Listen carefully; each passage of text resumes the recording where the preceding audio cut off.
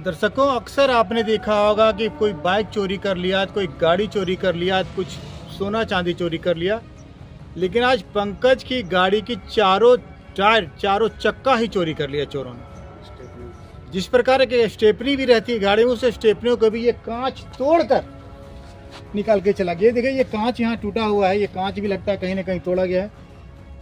ये गाड़ी संख्या जी एच पंद्रह A D two seven eight four बिल्कुल चकाचक गाड़ी है ग्रांड वन आई टेन है ये। कहीं ना कहीं चोरों का मनसा रहा होगा कि कुछ और करूँ, लेकिन वो शायद गाड़ी डायनेमिक लॉक होने के कारण गाड़ी बच गई। तो उसने क्या किया कि चारों चक्का जो बिल्कुल चक्का नया होगा और चक्का ही चोरी करके चला गया। और पंकज से जानना चाहेंगे क्या कुछ हुआ था? पंकज, क्या कुछ हुआ हाँ सर गाड़ी का पूरा चारों चक्के आगे वाला आइकन का वो वीडियोग्राफी वो भी ले गए। अच्छा डिस्प्ले जो लगा हुआ था हाँ। अच्छा अच्छा। और कांच भी पीछे का टूट गया और गाड़ी में और कुछ सामान वामान हुई था क्या? गाड़ी में और कोई सामान नहीं था। माने जो माने ये गाड़ी स्टेपनी ले गया सीट वगैरह?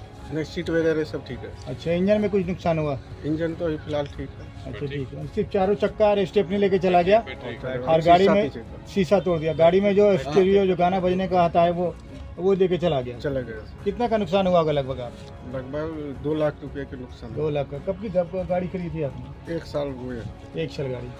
फिनांस पर थी कि अपनी गाड़ी थी? अपनी गाड़ी थी। मैंने फिनांस पे नहीं लिया था आपने? नहीं। थाना में सूचना दे दिया आपने? हाँ दे दिए थाना प्रभारी को भी कर दिया। अच्छा क्या बोले सर? सर बोले हम छानबीन करके जाँच पड़ताल कर दिए।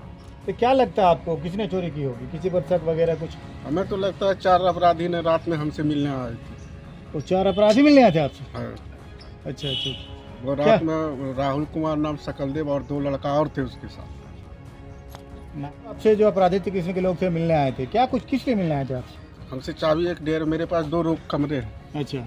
दो कमरे हैं दो कमरे में वो छोटा सा एक रूम है वो चाबी मांग रहे थे हमसे। अच्छा।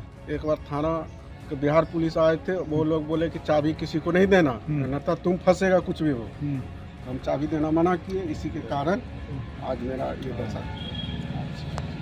थाना में आपने सूचना थाना में बताया कि फलना फलना व्यक्ति था? हमने थाना में बता दिया उन लोगों के सारी नाम निकलवा दिया कि ताकि वो दोस्त था तुम नहीं होगा।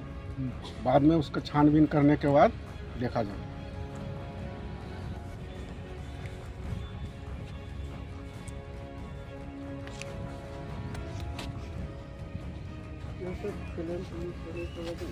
हंड्रेड परसेंट देगा। हाँ उसमें तुरंत क्लेम करिए एक्सपायर करिए हंड्रेड परसेंट देगा। तुरंत देगा जी एकदम एकदम तुरंत सुनेगा।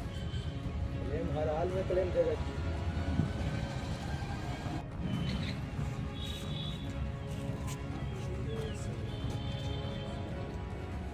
तू तो भैया छूटा यही तो उतरा हुआ